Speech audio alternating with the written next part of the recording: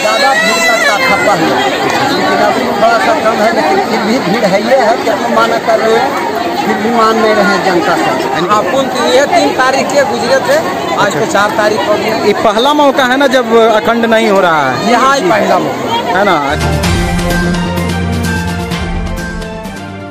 दोस्तों सब्सक्राइब करें और इस बेल आइकन को दबाएँ और पाएँ वीडियो सबसे पहले। वैश्विक महामारी कोरोना ने संपूर्ण विश्व को जहाँ तबाह कर दिया, वहीं अपने देश के ऐतिहासिक स्थल, पर्यटन स्थल की रौनक भी है इतना ही नहीं कैसे कई ऐसे भी आध्यात्मिक स्थल हैं जहाँ पर सन्नाटा पसर गया। इस वक्त हम जहाँ मौजूद हैं, वो बिहार शरीफ के राजा कुमार स्थित संत बाबा का मंदिर परिसर है और हमारे साथ मौजूद हैं यहाँ श्रद्धालु और इनसे हम जानेंगे कि आखिर प्रत्येक वर्ष यहाँ तीन अक्टूबर से अखंड कीर्तन का आयोजन किया जाता था, लेकिन कोरोना के कारण यहाँ की रौनक खिल गई, लेकिन कोरोना पर भी आस्था का विश्वास भारी पड़ा। नमस्कार, मेरा नाम राजीव रंजन है और आप देख रहे हैं जनादेश न्यूज़। संत बाबा मंदिर परिसर में मैं मौजूद हूँ और हमारे साथ मौजूद हैं श्रद्धालु और इनसे हम जानेंगे कि आखिर बाबा की महिमा क्या थी कब से यहाँ अखंड पाठ का आयोजन किया जाता था और पहला ऐसा मौका है जब कोरोना काल में यहाँ सन्नाटा ही नहीं, कोरोना काल में जहाँ सन्नाटा रहना चाहिए था, लेकिन आस्था का विश्वास कोरोना पर भी भारी पड़ा है। हैं तो यहाँ कब से अखंड पाठ का आयोजन किया जाता था और महीना में बाबा मध्यरात्रि में शरीर अपना परित्याग किए थे उसी के उसी के शोक दिवस में उसी के शोक दिवस में बाबा संत कर। उन्हीं के प्रताप से ये सब महिमा अनंत है। वही ये तो पहला मौका है जब इस तरह का महामारी का सामना आप लोग कर रहे हैं। जी। ऐसा तो कभी मौका नहीं आया था। नया मौका तो बीस वर्षों से हो रहा है। यानी ऐसा तो कभी नहीं आया था कोरोना? कोरोना नहीं आया था। है ना? अखंड तो 20 वर्ष से हो रहा हाँ, था तो यानी 20 वर्ष एक। परंपरागत तौर पे जी, जी। यानी बाबा ने हमें बताया कि एक परंपरागत तौर पे यहाँ पिछले तीन अक्टूबर से लगातार अखंड कीर्तन का आयोजन किया जाता था, लेकिन इस परंपरा में यह पहला पहला मौका है जब कोरोना ने यहाँ अखंड कीर्तन करने पे भी बाध्य कर दिया। यानी रोक लगा दिया गया है कोरोना को देखते हुए, लेकिन आस्था का विश्वास कि यहाँ भक्तों में कम होने को नहीं देखा जा रहा है। और आप देख सकते हैं कि किस तरह से संत बाबा मंदिर परिसर में काफ़ी संख्या में आज श्रद्धालु आए हैं, क्योंकि उन्हें मालूम था कि आज ही के दिन बाबा के पास अखंड कीर्तन का आयोजन किया जाता है और वो अपने विश्वास को लेकर बाबा के पास पहुँचे यहाँ की महिमा क्या है? कहा जाता है कि कुआँ का जल पीने से बहुत कुछ दुख दूर होता है। संत बाबा का महिमा बहुत अनंत है महिमा बहुत अनंत है। साफ़ काटल इच्छा काटल सब व्यक्ति आते हैं कोई चीज़ काटा हुआ उनकी पूरे प्रताप से सब ठीक होते जाता है।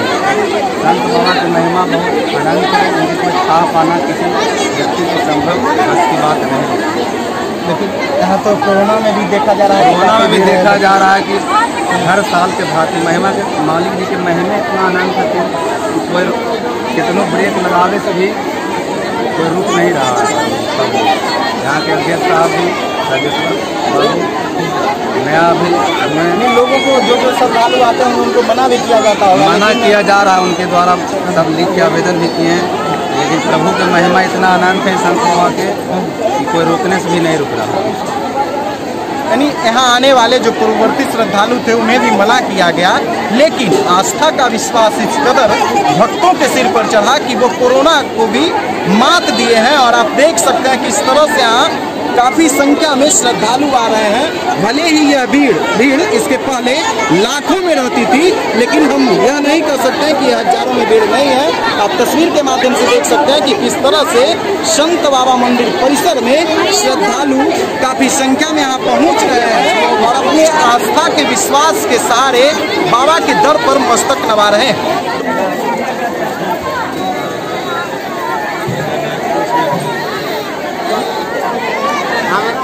बाबा का माने कि जो स्वर्ग गए हैं अथी पर पर है जो कि अखंड कीर्तन होता था पहले, दो हज़ार से लगातार चला आ रहा था अभी तक। लेकिन इस बार है जो कि बाबा के अखंड होने में थोड़ा सा मैंने सरकारी कानून कार्रवाई से विलम्ब किया गया था लेकिन फिर भी जनता श्रद्धालु भक्त विलम्ब नहीं पा रहे हैं।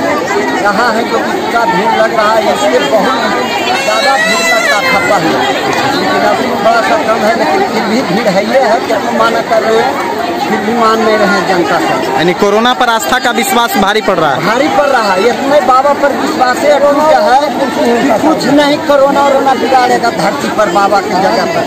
कुछ नहीं।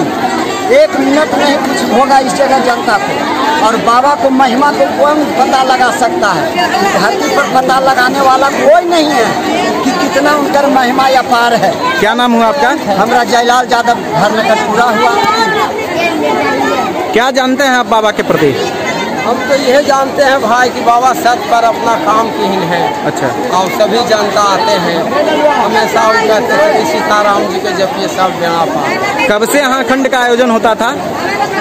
दो हज़ार दो से होने के लिए हुआ। हाँ ये मृत्यु होने के बाद अखंड जारी है। अच्छा अच्छा।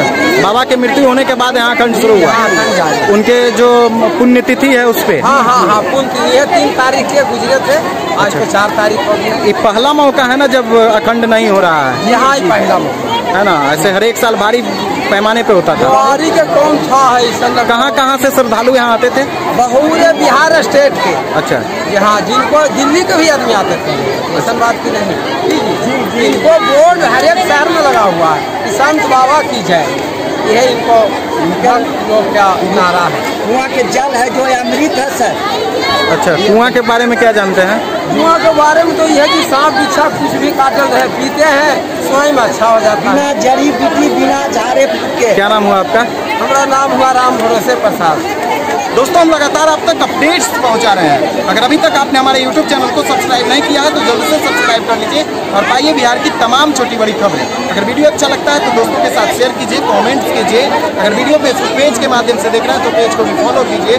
धन्यवाद। दोस्तों सब्सक्राइब करें और इस बेल आइकन को दबाएँ और पाएँ वीडियो सबसे पहले।